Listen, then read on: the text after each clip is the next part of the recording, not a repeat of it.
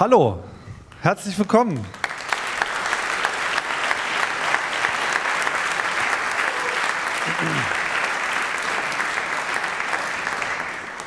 Ja, ist schön voll geworden auf dieser äh, Veranstaltung. Zu unserer aller Überraschung ist jetzt äh, die Teilnehmerzahl dann doch äh, extrem nach oben geschossen. Ein paar Plätze sind noch frei. Morgen wird es noch voller.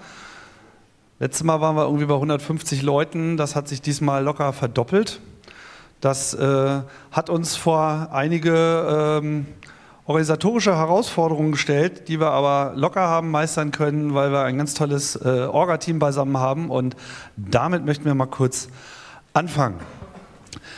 Ähm, damit ihr mal wisst, wen ihr hier so ansprechen könnt, wenn Fragen sind. Ähm, ich bin mir auch sicher, ihr werdet innerhalb kürzester Zeit genug äh, Kompetenz entwickeln, um auch alle Fragen beantworten zu können. Aber wir versuchen euch heute mal eine kurze ähm, Vorstellung zu machen, was äh, wichtig ist. Und dazu ist ja erstmal ganz wichtig, ähm, zur Kenntnis zu nehmen, wer hier noch so mitgewirkt hat. Also ich bin Tim, Tim Prittlaff und äh, bin immer so ein bisschen schuld, aber hätte das nie und nimmer äh, in irgendeiner Form auch nur ansatzweise alleine äh, lostreten können. Da gab es viel Unterstützung, unter anderem von Stefan. Sag doch mal selber was. Ja, also wir haben uns darum gekümmert, dass wir das hier auch mal im Westen veranstalten und nicht nur in diesem Berlin, wo Tim ansonsten so rumhängt. Wir waren auch in München. Wir waren auch schon in München, aber jetzt sind wir hier endlich mal im Westen. Wir wollen das auch extra so ansagen. Es gibt sehr viel mehr Podcast-Menschen im Westen. Wir haben gestern schon alle eure Namen äh, aufgehangen. Wir kennen euch also alle soweit schon. Und wenn ihr ähm, als lebendes Objekt Fragen habt, wie gesagt, das sind, wir sind alle Ansprechpartner an diesem Wochenende. Genau, mein Name ist Klaas Rehse, arbeite hier beim Deutschlandfunk, mache den Radfunk und bin auch Podcaster bei Colinas Erben und hatte irgendwie die Idee, das mal hierher zu bringen. Ähm, muss mich deshalb ganz kurz an der Stelle auch ein paar, bei ein paar Leuten hier bedanken. Astrid Ravol, meine Chefin im Sport, die gesagt hat, mach das auf jeden Fall, auch wenn du erst ganz kurz hier bist. Der Programmdirektion, Doris Simon, die gesagt hat, äh, klar, unterstützen wir das, finden wir richtig gut. Und Manfred Ratz, ist er hier? Ist nicht da. Aber er hört uns, ne? Manfred, da hinten bist du. Manfred Ratz, und sein Team, die hier alles möglich machen, damit wir hier so arbeiten können, wie wir wollen. Deshalb an dieser Stelle bitte einen herzlichen Applaus für Manfred und sein Team.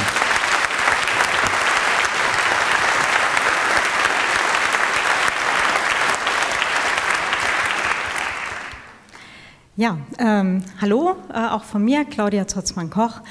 Ähm, Datenschutz-Podcast, Vienna Writers Podcast und seit kürzerem die Desperate House Hackers, äh, also mittlerweile auch äh, mehrfach zu hören. ähm, ich bin hier, glaube ich, noch kürzer reingestolpert als du. Äh, ich glaube, ich bin, also das ist jetzt meine allererste Subscribe und aus nicht ganz geklärten Gründen stehe ich hier und ihr nicht. Ähm, ich versuche aber trotzdem mein Bestes und gelegentlich darf ich mal das Klemmbrett halten. Ja, mein Name ist Daniela Ishorst. Ich bin hauptsächlich dieses Mal oder überhaupt zum ersten Mal für das Programm hauptsächlich zuständig gewesen zur Subscribe. Ansonsten bin ich Podcasterin, mache den Podcast Kunst und Horst und werde morgen auch einen Vortrag halten über podcasterin.org. Hallo, ich bin Jenny Günther. Ähm, ich mache den Einmischen-Podcast und bin hier vor allem beim Empfang zuständig und sonst, wenn irgendwelche Fragen sind, kommt auf mich oder den, am besten die anderen zu.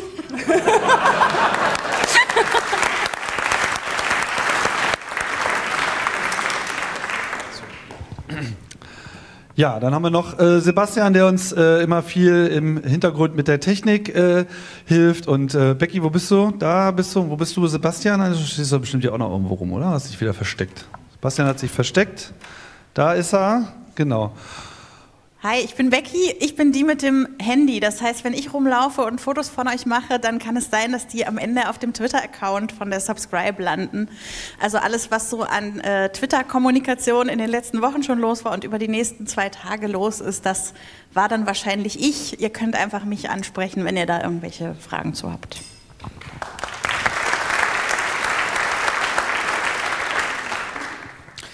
Ja, ich bin Sebastian Reimers. Ich mache sonst eigentlich Studiolink oder organisiere das Podstock oder bin im Sendegarten zu hören.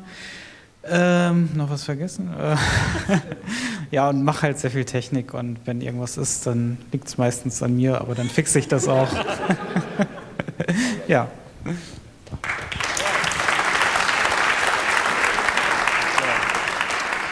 Gut. Klaas, du bleibst noch hier, Daniela, ne? Oder ihr kommt gleich wieder, genau. Ähm, ja, es klang schon äh, an und es ist ja mehr als offensichtlich, dass wir hier zu Gast sind beim äh, Deutschlandfunk. Das finden wir ganz toll, dass das äh, geklappt hat und wie schon erwähnt, der Zulauf war dann eben so groß, dass äh, wir am Ende auch ganz dankbar waren dafür, dass wir hier untergekommen sind, weil andere Räumlichkeiten, die wir so bisher hätten, hätten wir damit einfach mal locker gesprengt. Diesmal war es erstmalig so, dass manche überhaupt nicht ähm, teilnehmen konnten, weil irgendwann war dann einfach die Kapazität voll. Wir hoffen, dass wir den Charakter der Veranstaltung, zu der ich auch gleich noch mal ein bisschen geschichtlich was erzählen werde, trotzdem beibehalten können, weil es uns sehr, sehr wichtig ist, dass das Ganze hier ein Community-Event ist und bleibt und dass es hier vor allem um den Austausch geht. Und wir hatten natürlich Angst, dass wenn es jetzt zu schnell äh, wächst, dass wir da das dann nicht mehr so richtig auf die Workshops skaliert bekommen, etc. pp. Jetzt aber noch mal, ähm, schalten wir noch mal kurz zum Deutschlandfunk. Ralf, komm noch mal zu uns. Genau, Ralf Müller-Schmidt vom äh, von Deutschlandfunk Nova möchte uns jetzt auch noch mal ein paar grüßende Worte sagen, richtig? Ja. Möchtest du das Mikrofon nehmen? Ja, Mikrofon. Ich hatte mich schon aufs höhenverstellbare Pult gefreut. Tolle Sache. Ich finde es wunderbar, ähm, dass so viel los ist bei uns hier im Kammermusiksaal. Eigentlich hattet ihr, hatten Sie unseren Programmdirektor erwartet, Andreas Weber, der sich aber entschuldigen lässt. Den hat es heute gleich doppelt erwischt, einmal mit einem Wasserrohrbruch und dann noch mit einem gecancelten Flieger. Und ich glaube, das sind zwei gute Gründe, hier zu fehlen. Und ich freue mich umso mehr, dass äh, ich hier ein paar begrüßende Worte sprechen darf. Ähm, wir haben äh, übrigens bei Deutschlandfunk Nova, Tim und ich, wir kennen uns schon aus den Zeiten, als es, als es die Radio Wissen hieß.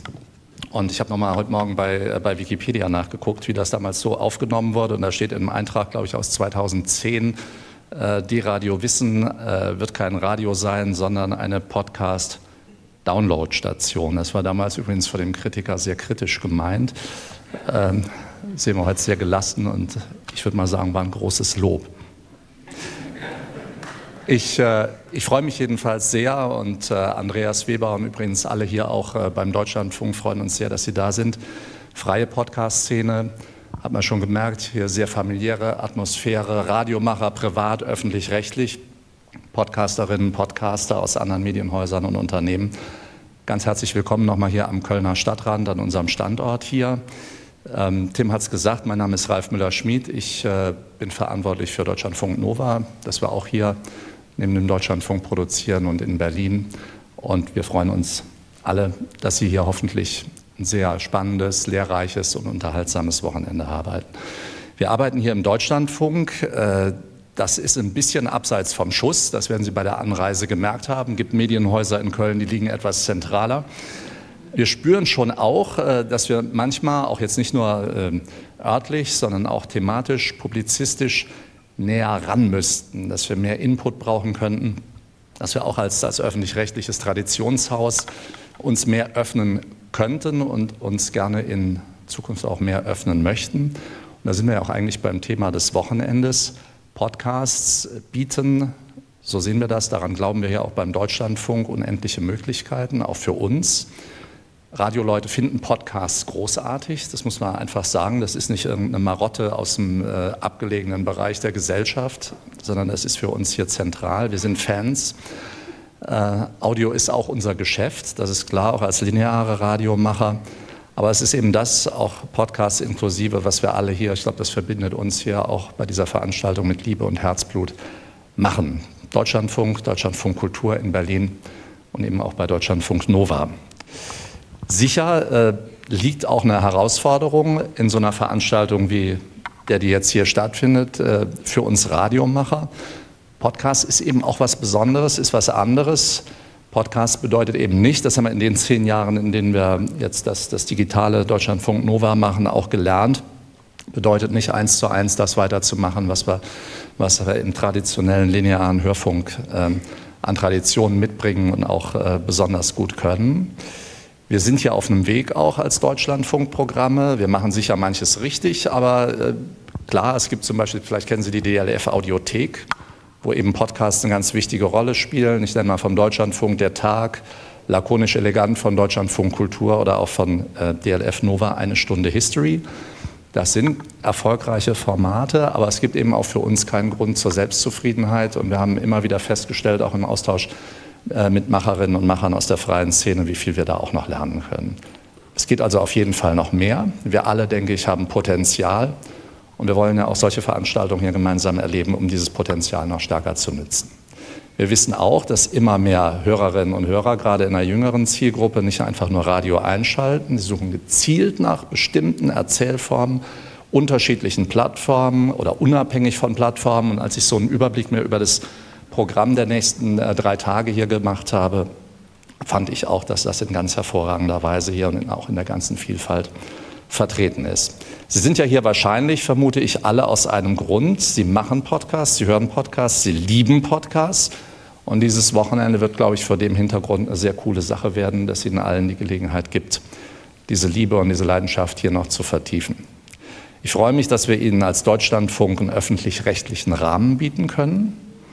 Das möchten wir auch an der Stelle mal betonen, dass wir nach innen und nach außen ein Forum sein möchten, auch für neue Entwicklungen. Also nicht, wenn Sie die Architektur hier von draußen sehen, wirkt die ja so etwas äh, abgeschlossen. Das ist äh, sicherlich der Stil der 80er Jahre, hat ein bisschen was von so einer charmanten Geheimdienstakademie.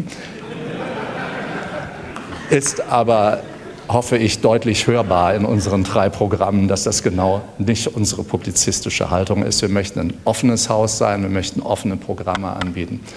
Und auch vor dem Hintergrund, äh, ich sehe ja auch sehr viele jüngere Kolleginnen und Kollegen, es werden ja auch einige aus unserem Programm teilnehmen dürfen, äh, ist das eine ganz, ganz prima Gelegenheit auch für uns, Offenheit und Aufgeschlossenheit gegenüber dem Neuen hier äh, seitens des Deutschlandfunks auch nochmal zu betonen.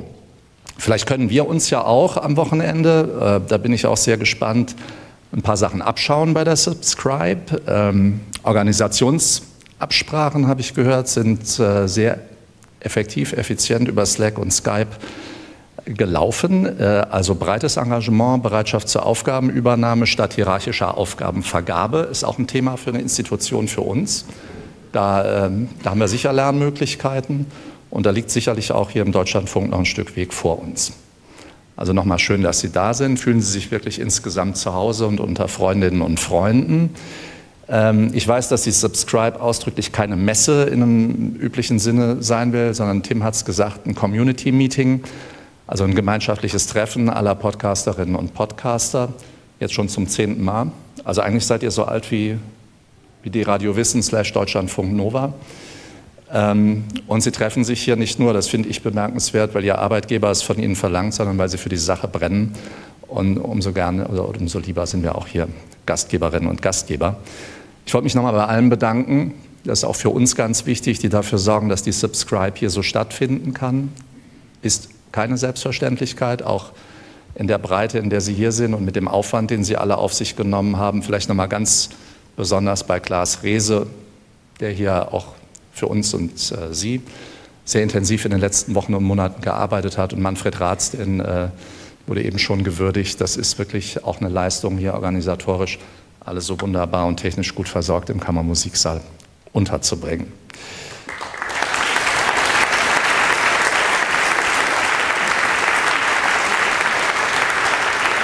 Lange Rede, kurzer Sinn. Wir wünschen Ihnen alle hier drei tolle Tage im Deutschlandfunk, über die Sie hoffentlich noch lange reden können, die Ihnen äh, viele neue Ideen bringen, weil sie dann richtig gute Gespräche geführt haben werden, spannende Ideen für neue Projekte. Und was ich besonders erstaunlich finde, ist Ihnen, dass die Kantine noch in den Abendstunden was ordentliches zu essen anbietet. Da haben Sie sich schon einen Vorsprung erarbeitet. Den, äh, wir werden mal prüfen, äh, welche Verhandlungswege da beschritten wurden. Vielleicht kann man das ein bisschen äh, dann auch äh, beherzigen für uns, die hier jeden Tag arbeiten dürfen. Ähm, ja, ich hoffe wirklich, dass es Ihnen Spaß macht, dass Sie sich hier hören können, dass Sie sich sehen können. Übrigens auch noch ganz wichtig, ähm, Kölsch und Cola am Abend gehen auf unseren Deckel. Und äh, in diesem Sinne, viel Erfolg hier, viel Spaß. Schön, dass Sie da sind. Danke.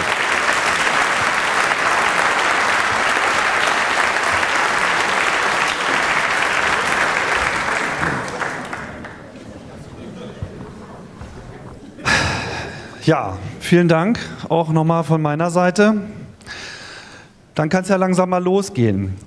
So, jetzt machen wir mal kurz äh, das mit dem Handheben. Wer von euch ist das erste Mal auf dieser Veranstaltung? Das sind mal so fast alle. Genau, das dachte ich mir nämlich schon.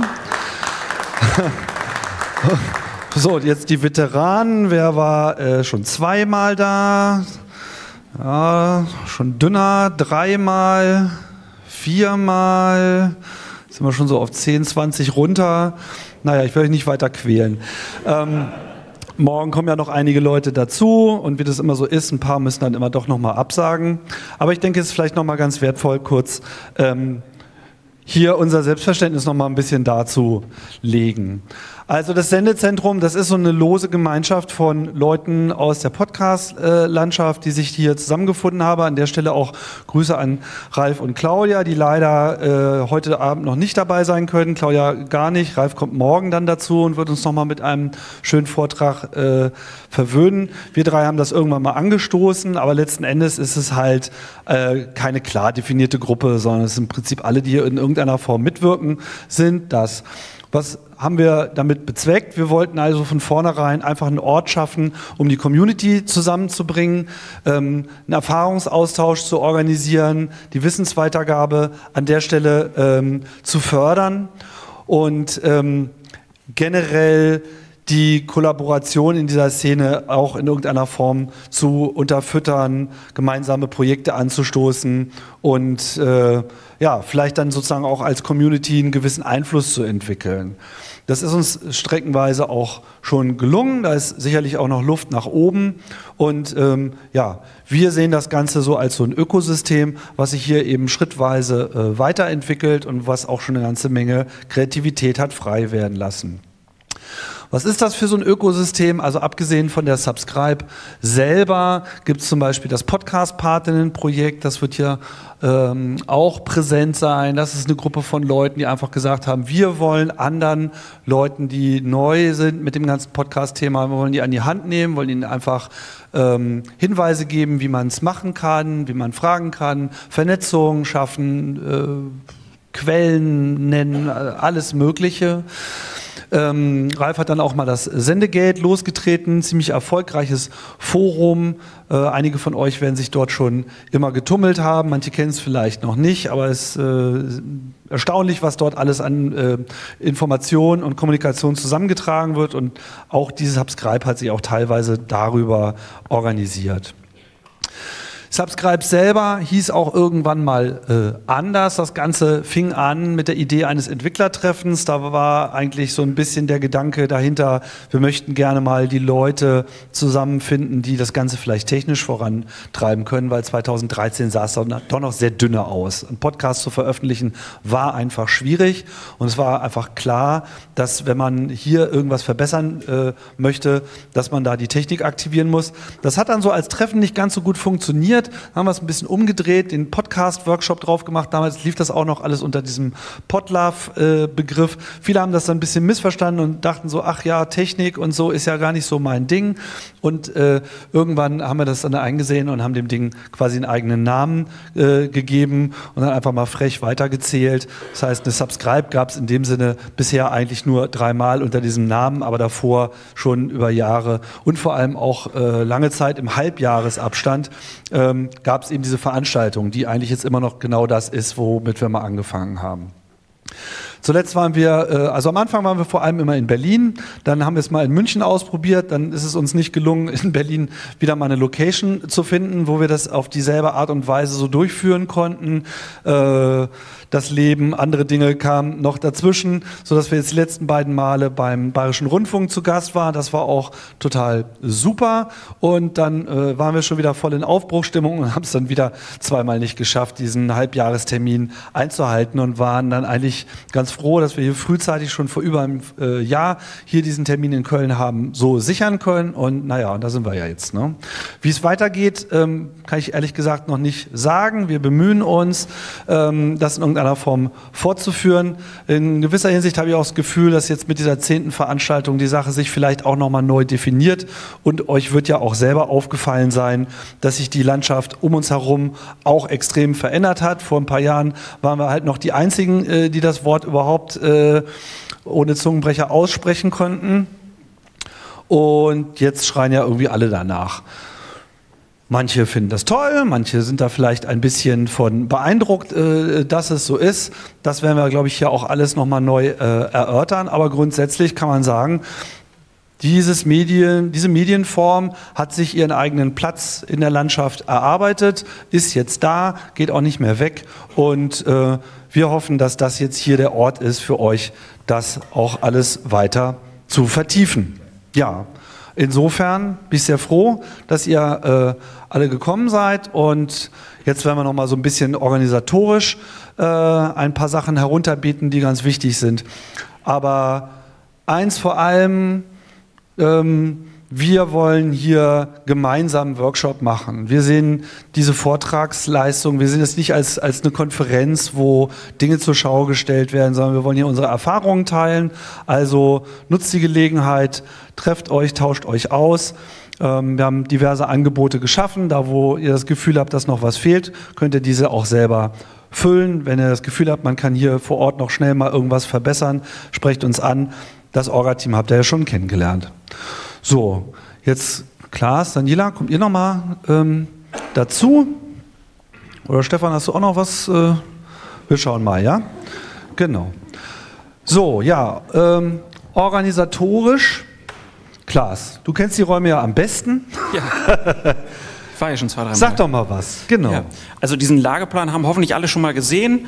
Der große Vorteil an der Veranstaltung ist, dass alles nur im Erdgeschoss stattfindet. Also wenn ihr euch irgendwo verlauft, einfach im Kreis laufen, irgendwann kommt er an, wo ihr hin wollt.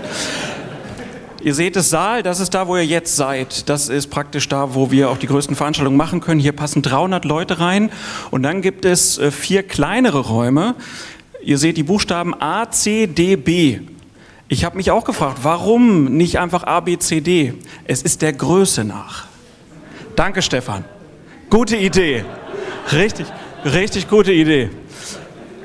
Genau. Ähm, dann vielleicht noch wichtig zwischen dem äh, direkt bei dem äh, Saal D, da seht ihr oben die Flasche und das Essen. Da wird dann das äh, Essen immer gereicht und ähm, vor dem Saal, vielleicht kannst du mal ein Foto weitergehen, da wart ihr jetzt ja eben auch schon, da ist unser Foyer. Äh, da wollen wir uns dann treffen, vor allen Dingen auch am Abend, so zum Ausklang bis 23 Uhr, um da dann halt auch noch äh, lecker Kölsch zu trinken.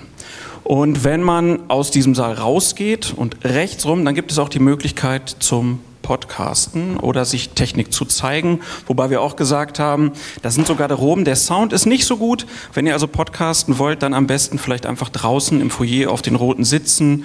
Ähm, da könnt ihr auch sagen, ich will podcasten, ich darf hier sitzen. Also praktisch wie in der Straßenbahn. Das ist ein Platz für Podcaster. Genau, und das ist die Lötecke, äh, die habt ihr vielleicht auch schon gesehen. Ähm, wer löten will, ganz wichtig, erst morgen weil erst morgen ist die Brandschutzanlage darauf ausgerichtet. Wer heute lötet, könnte dafür sorgen, dass dieses Haus geräumt wird. Also bitte nicht heute löten, erst morgen. Und rechts seht ihr auch, da ist eine Tür. Die Tür führt nach draußen. Dort können wir auch essen, rauchen, quatschen, was auch immer. Äh, und das ist auch der Weg, wo man dann, wenn man quer rüber geht, in die sogenannte Sendepause kommt. Habt ihr eben gesehen, die Flasche und das Essen. Dort gibt's heute das Abendessen, Samstag Frühstück, Mittagessen und Abendessen. Sonntag Frühstück und Mittagessen. Und ihr habt's gehört, die Getränke sind frei überall. Nur einen Hinweis habe ich. In diesen Raum bitte keine Getränke mitbringen, keine Flaschen, gar nichts. Das ist nicht nur heute so, das ist immer so, weil das ein ganz besonderer Saal ist hier. Und deshalb bitte an diese eine Anweisung halten, in diesen Saal keine Getränke bringen. Hat einen Vorteil, es können keine Flaschen umfallen, sodass der Vortragende irritiert wird. Jawohl, so viel von mir. Vielen Dank.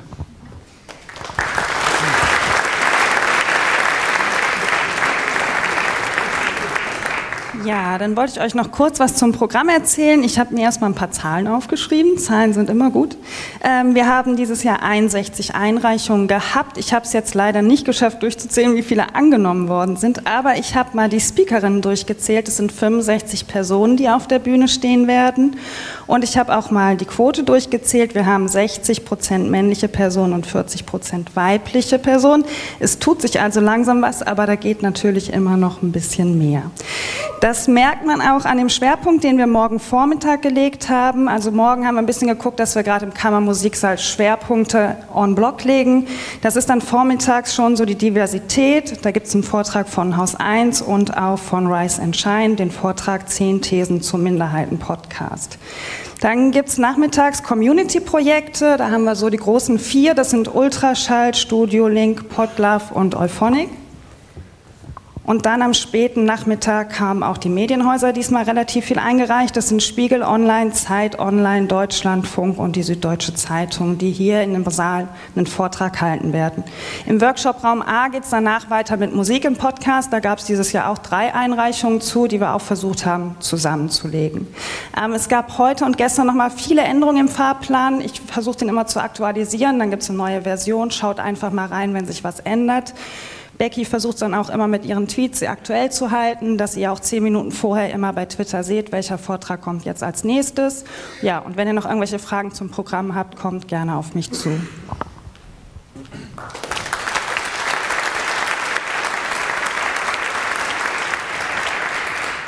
So, Zeit ist jetzt auch fast rum. Ich schließe nochmal ab, äh, damit alles mal erwähnt worden ist. Also wenn ihr hier in irgendeiner Form präsentiert oder am Workshop äh, teilnehmen wollt, was zeigen wollt, in jedem Raum ist äh, immer Anschluss mit HDMI, Adapter für die äh, gängigen Ports gibt's. Audio wird in der Regel dann immer über Klinke äh, abgegriffen. Wenn ihr hier Audio machen wollt, sagt es bitte vorher deutlich an, damit es dann auch entsprechend freigeschaltet ist und ihr nicht mitten im Vortrag feststellt, so, oh, man hört ja gar nichts. Ne? Generell die bitte keine Kabel umstecken. Wenn irgendwas äh, eurer Meinung nach nicht äh, richtig ist, leiten wir das direkt hier ans Team vom Deutschlandfunk weiter. Die äh, finden es nämlich ähm, dann nicht so schön, wenn überall irgendwie äh, irgendwelche Installationen vorgenommen werden. Also Technikschränke insbesondere, aber auch Bodentanks, alles bitte nicht anfassen, sonst aua. Wir zeichnen auf hier im Hauptsaal mit Bild und Ton und äh, im Workshop A ebenfalls. Sollte eure Veranstaltung so intim sein, dass ihr das nicht möchtet, müsst ihr das äh, vorher nochmal anzeigen. Ähm, live.subscribe.de führt euch schnell zu dem Link, wo man das Ganze auch ähm, live empfangen kann. Also wir streamen das auch alles live. Später wird das Ganze auch bei YouTube zu finden sein. Workshop Raum B ist nochmal besonders, da haben wir nur eine Audioaufzeichnung, die läuft aus technischen Gründen da immer äh, mit. Dessen solltet ihr euch bewusst sein. Und ähm, ja, ich glaube, damit ist sogar schon äh, fast alles dazu gesagt. Dann gibt es noch Führungen, die hier organisiert werden. Es gibt äh, derer sechs, davon sind drei schon ausgebucht. Es gab die Möglichkeit, sich da vorher im Sendegate einzutragen. Das haben schon einige von euch gemacht.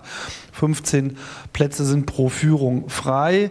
Äh, eine ist, glaube ich, im Sendegate noch, sind noch ein paar Plätze frei, da könntet ihr euch schnell eintragen. Ansonsten gibt es morgen noch die Möglichkeit, zu den hier angegebenen Terminen äh, euch spontan an der Garderobe einzufinden und dort euch äh, schnell zu registrieren.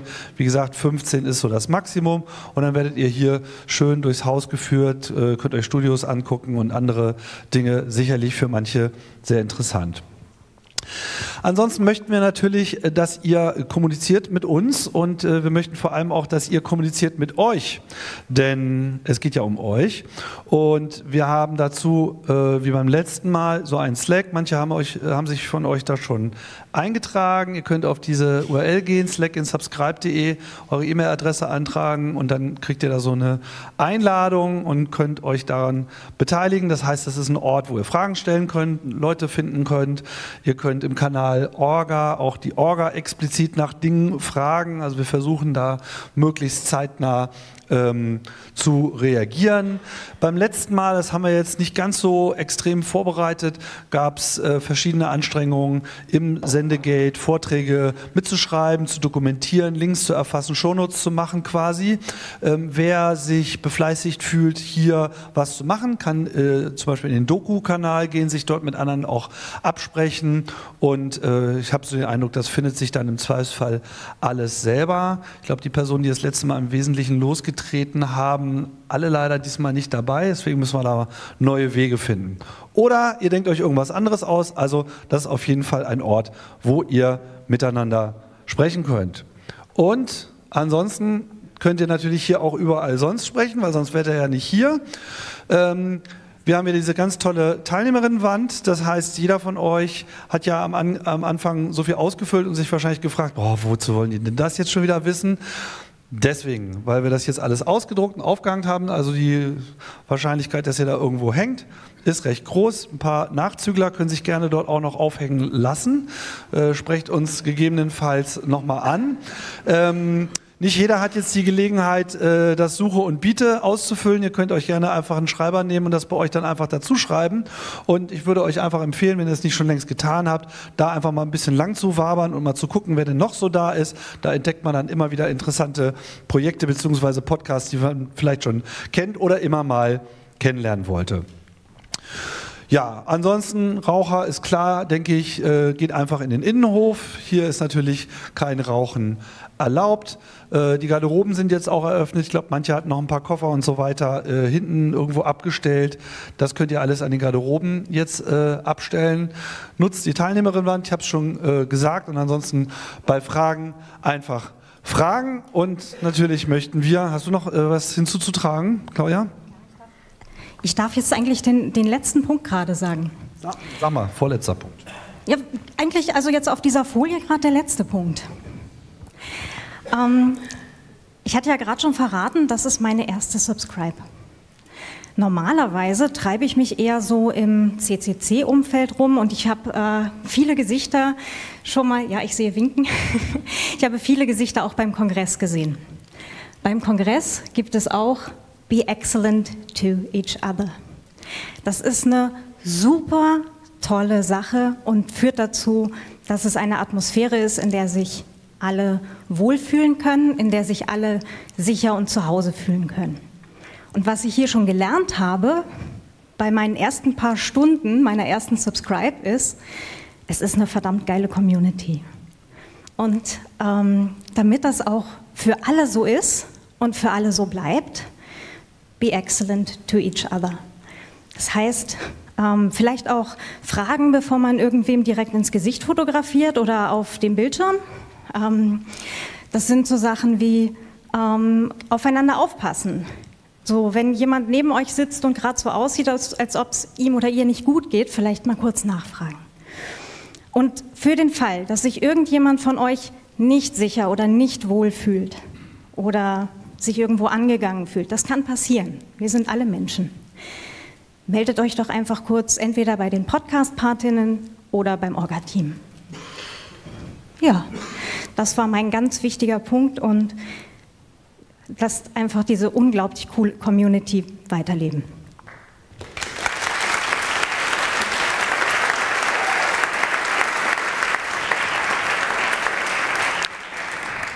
Ja, so machen wir das. Viel Spaß am Gerät. Ich wünsche euch tolle Tage hier auf der Subscribe.